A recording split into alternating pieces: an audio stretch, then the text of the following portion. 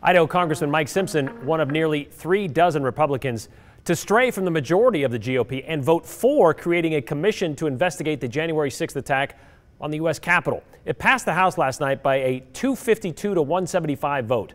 All Democrats voted in favor, and so did 35 Republicans. Congressman Simpson said yes. Congressman Russ Fulcher, he wasn't having it. Fulcher also voted to reject the 2020 presidential election results back in January, if you remember.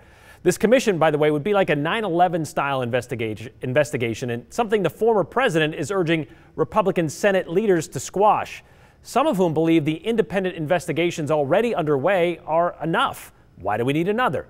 So they got 35 GOP members to join in on the House side. It would take at least 10 on the Senate side in order for this to pass, and that vote could happen as early as next week.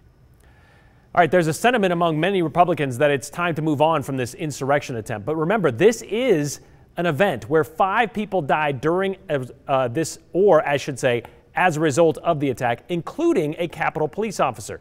So far, more than 440 people across the country have been charged for their alleged roles in that attack, including four Idahoans.